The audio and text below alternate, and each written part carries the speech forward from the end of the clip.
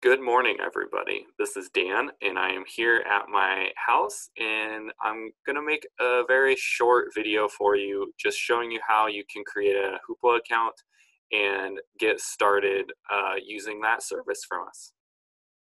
Um, so, the first thing you'll need to do is go to our website, which is newtonplks.org.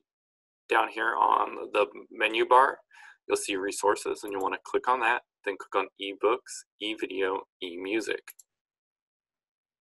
From there, you'll want to click on Hoopla, which you can see right here. It's the third paragraph.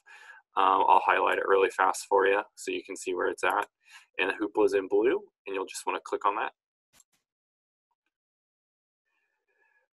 It'll take you to the main page for the Hoopla. Uh, as you can see, it has saved my login information.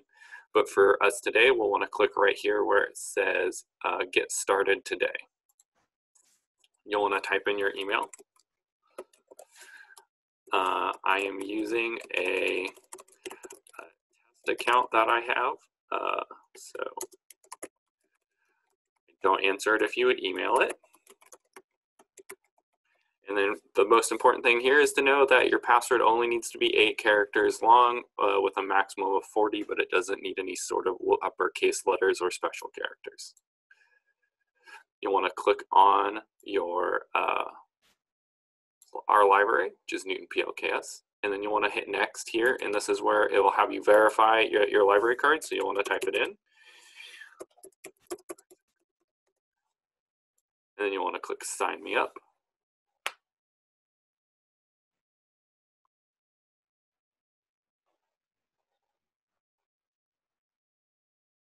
Um, for some reason, um, it, every once in a while when you make an account, it just gets stuck here on this white screen. I'm not sure why it does that. Um, if it doesn't load up after a couple seconds, just refresh your uh, screen and it should work again for you. Um, so see, now, now we're logged into your Hoopla account um, and it says that uh, give you some recommendations up here. It has currently borrowed and that you can borrow four titles or more. And then it also has some recommendations and maybe some favorites you have.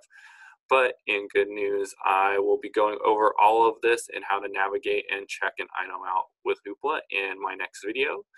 Uh, but I wanted to make sure all of you could get logged into Hoopla uh, right now.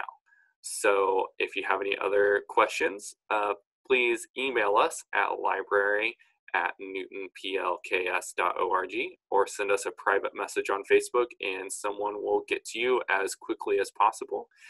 And I look forward to seeing you all in person and back in the library soon. Thank you. Bye.